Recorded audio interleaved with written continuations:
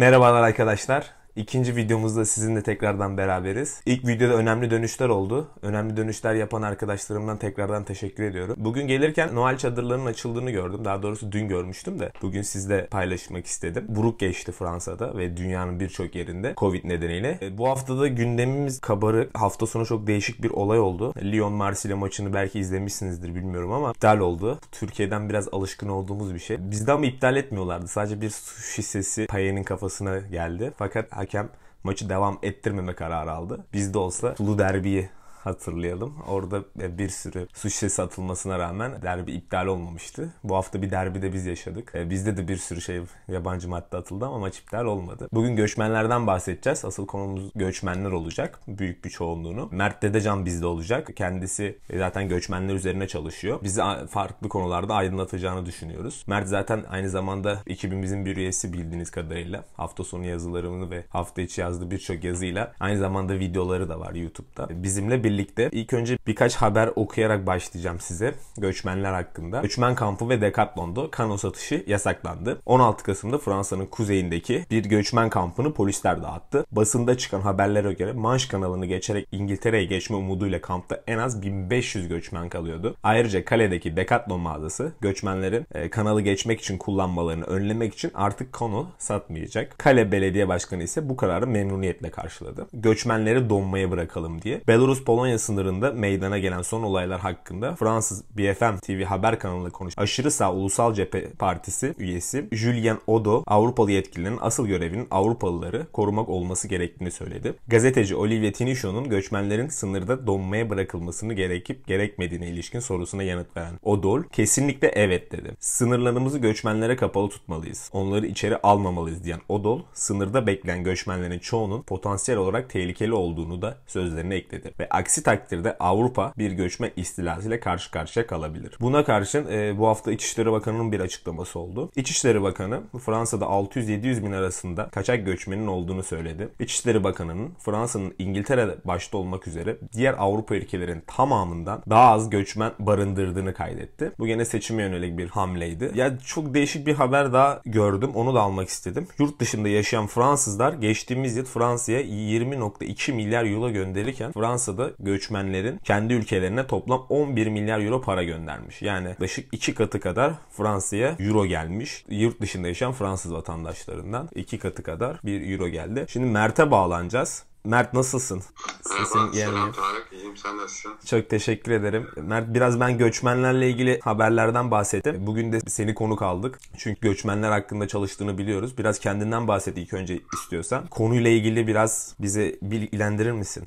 Öncelikle Labohem ekibine ve izleyicilerine merhaba diyelim. Bu yeni konsepte başarılı bir şekilde devam ediyoruz. Eline sağlık senin de, ağzına sağlık. Ben şu an İstanbul'dayım. Tücci haklarıyla alakalı faaliyet gösteren bir kurumda e, çalışıyorum. Yaklaşık bir buçuk yıldır. E, şimdi zaten Türkiye'de ve çok gündem tartışmalar devam ediyor. Aslında tüm dünyada da bu tartışmalar devam ediyor. Fransa'da bu e, konuda başı çeken ülkelerden. Çünkü hem coğrafi konumu hem de tarihsel olarak birçok farklı konudan ötürü sık sık gündeme gelen bir konu. Bir de Fransa'da göçmeler dediğimiz akla gelen ilk yerlerden biri bildiğin gibi başta da söyledin. Bu kale bölgesi çok e, sembolik bir yer aslında bu bölge. E, çünkü İngiltere e, sınırına yakın Manş Denizi'nin dibinde ve uzun yıllardır 20-30 yıldır İngiltere'ye geçmeye çalışan tüm kayıtsız e, göçmenlerin orada kamp kurduğu ve çeşitli yollarla kanalı geçerek e, İngiltere'ye ulaşmak için kullandığı bir yer. Hem de aynı zamanda Fransa'ya ilk defa gelen ve Fransa'da çeşitli şehirlere yerleşmek isteyen kişilerin de bir bakıma ilk e, uğrak noktası diyebiliriz. E, bununla alakalı sitemizde de bir yazımız var. Welcome filmi üzerine. O da e,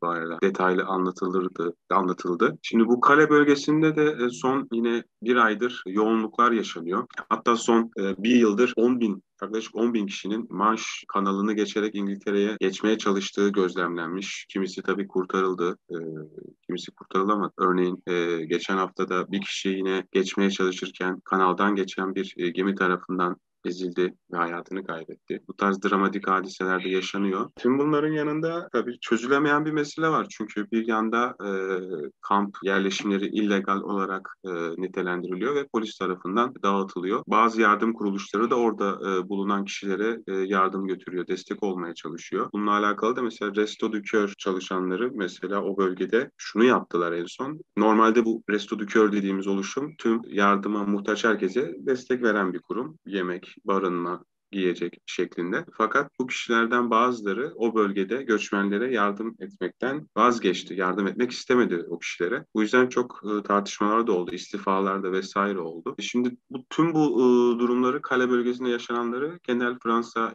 e, iklimiyle de e, düşünebiliriz, tartışabiliriz. E, çünkü seçimler yaklaşıyor ve seçimlerin tek odak noktası bu olmayacak tabii ki ama aşırı sağın e, adayları Le Pen ve Zemmour seçim politikalarına e, buradan başladılar diyebiliriz açıklamalarıyla sık sık gündeme geliyor zaten. Tüm Fransız vatandaşlarının da oyunu e, bu şekilde kazanmaya çalışıyorlar e, diyebiliriz. Burada tabii ikinci tura kalacakları kesin gözüyle bakılıyor ya Le Pen'in ya e, Zemmour'un. Ama burada e, Macron'la Macron'un da eğer ikinci tura kalacağını öngörürsek Macron'un bu göç ve e, mültecilik e, konusunda söyleyeceği çok fazla söz yok. Dolayısıyla burada biraz Fransa'da daha sol kesimlere söz düşüyor. Onların e, çıkıp daha fazla söz söylemesi ve aşırı sağın bu kadar ırkçılığa yaklaşan işte sen de bahsettin. E, bırakalım orada donsunlar e, açıklamaları gibi her gün oluyor bu açıklamalar. Bu tarz açıklamalarına e, sol diyebileceğimiz kesimlerin daha fazla e, söz söylemesi gerekiyor. Çünkü iş Macron'a kalırsa Macron'un zaten e, bu konuda tavrı çok da e, iç, açıcı, iç açıcı değil diyebiliriz. E, Peki İçişleri Bakanı'na söylediğine yani Fransa'da diğer Avrupa ülkelerine göre daha az mülteci olduğunu söylüyor. E sen bunun böyle olduğunu düşünüyor musun yoksa bu sayılabilecek bir şey mi yani mülteciler? Çünkü sen de şu an çalış çalıştığın içinde yani dışarıdan gelen mülteciyi saymak yani tam resmi olarak sayabiliyoruz bazen. E, resmi şekilde gelindiği zaman fakat illegal bir şekilde gelindiği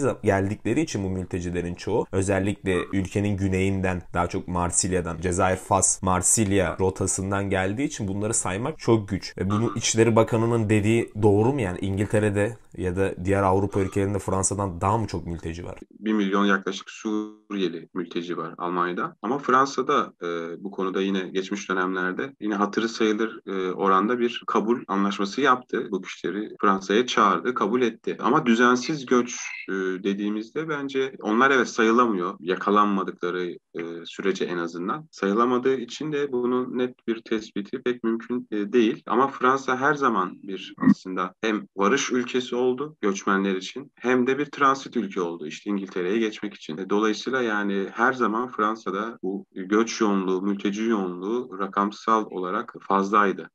Çok teşekkür ederim. Kale, kaleden bahsediyoruz. Ben Lübnan'da çalıştığım zaman Arthur diye benim e, bir binomum vardı. Yani birlikte çalıştığım bir arkadaşım vardı. O Lübnan'a gelmeden önce kalede çalışıyordu. Birkaç tane asosyasyonla birlikte, dernekle birlikte orada işte göçmenlere yardımcı oluyorlardı. E, İngiliz bir asosyasyonun partnerliğinde, İngiliz-Fransız iki asosyasyonun yaptığı ölçüde karavanlarda kalıp işte oradaki mültecilere yardım etmeye çalışıyorlardı. Fakat her gün polisin geldiğini ve polisin her gün çadırları dağıttığını verdiği yani de bu kendi dernekler veriyor bu çadırları. Onları çadırları topladığını, tekrardan kaldırdığını falan söylüyor. Tamam bunu en başta senin de söylediğin üzerine illegal olduğunu söylüyor devlet bunun. Fakat bunun bu insani boyutu yok mu? Bir dernek bir çadır veriyor. E, bugün ben sokağa çıktığımda sabah 2-3 kat giyinmeme rağmen çok aşırı derecede soğuktu ve Fransa çok soğuk bir yer. Özellikle kale bölgesi, kuzey bölgesi çok çok daha soğuk. Ve bunların çoğunun elbiseleri olmayan e, çünkü kaçak yollarla gelmiş, deniz yoluyla gelmiş, karayoluyla gelmiş. Yani hiçbir şeyini alamadan gelmiş kişiler. Şimdi bunları e, çadırların toplanılması zaten çadırda da zaten bu havada kalınmaz. Fakat bu çadırların bile toplanılması yani burada çünkü insan hakları Fransa e,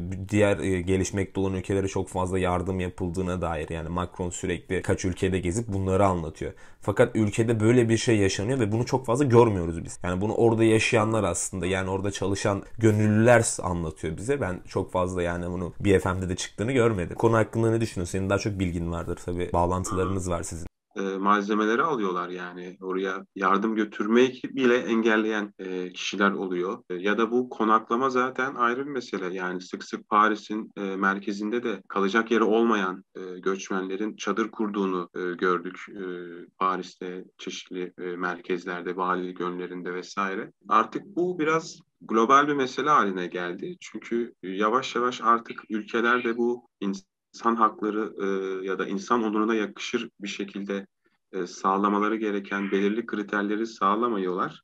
Sağlamamaya ve çeşitli uluslararası anlaş e, riayet etmemeye başladılar. Dolayısıyla artık kişilerin e, belli bir mekanizmaya erişimleri de kısıtlanıyor. Yani kişi mülteci olarak ülkesinde, ülkede bir sığınma talebiyle varsa bile e, o kişiyle görüşülmüyor, o kişiyle herhangi bir statü sağlanmıyor ve kayıtsız kişi, düzensiz göçmen muamelesi yapılarak sınır dışı ediliyor. Ee, yani sınır dışı merkezlerinde de aslında bir birikim söz konusu. Çünkü bu kayıtsız kişiler toplanıp ilk olarak merkezlere götürülüyor. E, dolayısıyla burada yani e, global bir yeni bir e, siyasi göçmen politikasından bahsedebiliriz. E, ülkeler artık e, evet ucuz iş gücü e, olarak görüyorlar bu kişileri ama ötesi değil bir mülteci bir vatandaş olarak görmüyorlar, görmemeye başladılar. Bu da dediğim gibi artık tüm ülkelerin meselesi haline geldi.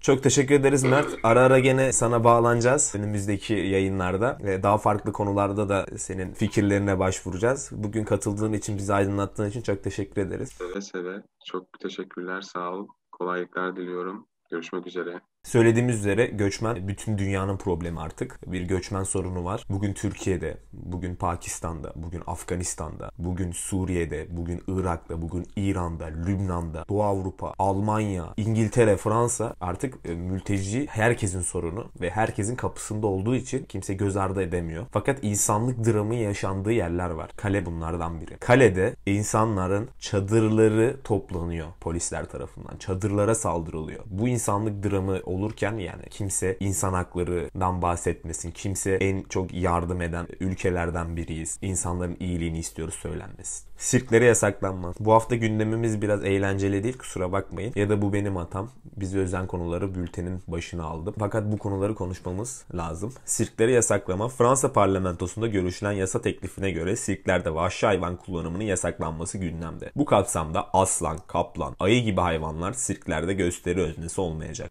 Cinsiyetsiz şahıs zamiri IEL. Bu hafta çok tartışılan konulardan biriydi. E, Fransızca'da şahıs zamirleri erkek ve kadın olarak ikiye ayrılıyor. Erkek olduğu zaman il, kadın olduğu zaman el. Türkçe'ye göre daha seksist bir dil. Bu hafta çıkan tartışma ise cinsiyetsiz bir şahıs zamirinin olması gerektiği üzerineydi. İel. Cinsiyetler için tanımlanan şahıs zamirine ek olarak nötr şahıs zamiri İel'in eklenmesi gündemi meşgul ediyor. 2010'ların başında doğan ve LGBTIQ topluluğu içinde zaten yaygın olarak kullanılan bu yeni terim son yıllarda daha görünür olma eğiliminde. Daha çok sosyal medyada kullanılıyor. Fakat artık eylemci çevrelerle sınırlı değil ve giderek kamusal tartışmada gerçek bir yer alıyor. Fransa'da IEL bugüne kadar hiçbir basılı sözlükte bulunmadı. Ancak birkaç hafta önce Le Petit Robert dijital baskısına girdi. Bu çarşamba günü Le Robert sözlüklerinin direktörü Charles Bimbene bir basın açıklamasıyla bunu doğruladı. Milli Eğitim Bakanı sebebi ne olursa olsun dilimizi ezmemeliyiz derken First Lady Brigitte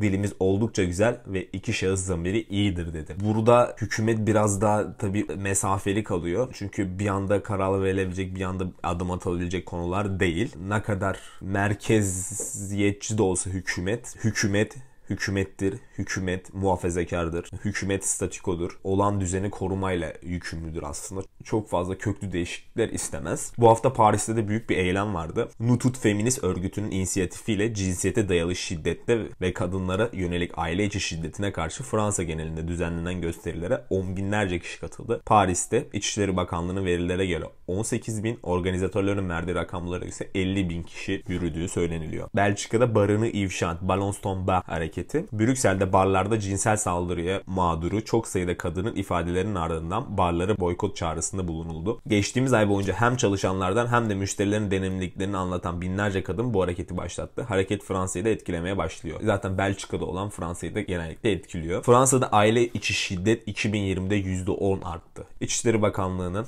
jandarma ve polis kayıtlarına dayanarak oluşturduğu istatistik bilgilerine göre 2020 yılında Fransa'da 159.400 kişi aile içi şiddete maruz kaldı. Açıklanan rakamlara göre aile içi şiddet olaylarında geçtiğimiz yıl 2019'a göre %10 artış kaydedildi. Bu biraz pandeminin ve ekonomik darboğazın da etkisi var. Aynı şekilde Türkiye'de de bir artış söz konusu. Bugün biraz kötü açtık bülteni. Çok fazla kötü haber vardı. Biraz müzikten bahsedelim. Orelsan Fransa'da bir hayli politik bulunan son albümünün Sivilizasyonu çıkardı. Burada arkadaşlarım çevirisini yaptı bir buklesinin. Kölelik sınırındaki bir Çin fabrikasından ip Türkiye'ye gidiyor. Kadınlar dokuyor yatay, dikey, buna çözgü ve atkı denir. Yön Romanya'ya, evet kızların kıyafetlerimizi yapmak için birbirlerini öldürdüğü yer, evet. Bu biraz e, toplumsal, sosyal durumları açıkça gösteriyor açıkça bir eleştirisini sunuyor. Rap müzik şu anda dünyanın her ülkesinde top listelerine girir, giriyor. Ben bunu geçen hafta birkaç ülkeye baktım. Top 20'de en az 10-12 tane şarkı her ülkede. Rap şarkısı. Bu beni rahatsız ediyor mu? Ediyor. Ben bir şeyin tekelleşmesine hep karşıyım. Rap müzik dinler miyim? Dinlerim. Ben her türlü müziği dinlemeyi seven biriyim. Her türlü müziği de dinliyorum. Fakat bir müziğin tekelleşmesine ve modaya karşıyım. Müzik modalaşmaması lazım. Bir furya olunca herkes o furyanın peşinden gidiyor. Çok çok güzel belli sosyal politik sorunlardan bahsediliyor. Çok hoş. Zaten e, sanat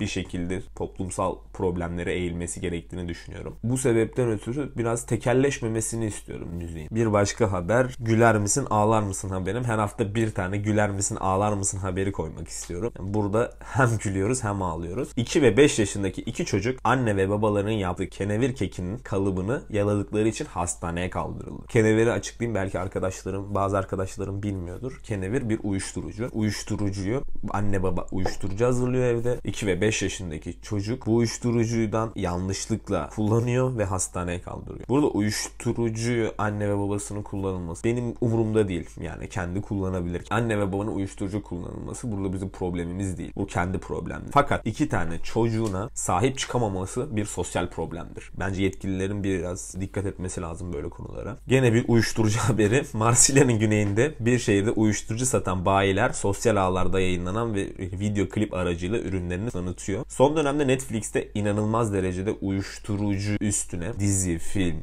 yapılıyor. Biraz bir legalleşme söz konusu dünyanın birçok yerinde. Büyük olasılıkla önümüzdeki 10 belki 20 yıl içinde %70 oranında ülkelerde legalleşecek bazı uyuşturucular. Bunların bir hazırlık içerisinde olduğunu düşünüyorum ben. Şu anda da zaten video klipler başladı. Başlamış. Ya bu video klipleri zaten önüne alamazsın. Bunlar hep vardır. Ama şu son dönemde sosyal medya inanılmaz şekilde gelişiyor ve aynı ölçüde devlet kurumları yavaş kalıyor. Kalması normal. Çünkü öyle bir büyük bir değişim var ki devlet kurumlarının bu kadar hızlı olması beklenemez. Yani bir tane ikametgah kağıdını yıllarca bekliyoruz Fransa'da. Bunlara yapabileceklerini düşünmüyorum ben. Maske zorunluluğu tekrardan geldi. 26 ilde ve bazı bölgelerde zorunlu hale geldi. Bu beni korkutuyor. Tekrardan bir içeri kapanma söz konusu olursa psikolojik açıdan kaldırabileceğimizi düşünüyorum. İnsanoğlu problemlerle yüzleşme konusunda durumun içinde olduğu zaman daha başarılı olabiliyor. Yani şu anda baktığımızda çok imkansız gibi gözüküyor bize. Bir daha yapamayız, bir daha o şekilde yaşayamayız. Daha yeni açıldı her yer gibi düşünebiliyoruz. Ama psikolojik açıdan aşabileceğimizi düşünüyorum. Fakat ekonomik açıdan ben kaldırabilecek çok fazla insan tanımıyorum. Bir kere daha kapanırsa Fransa gibi bir ülke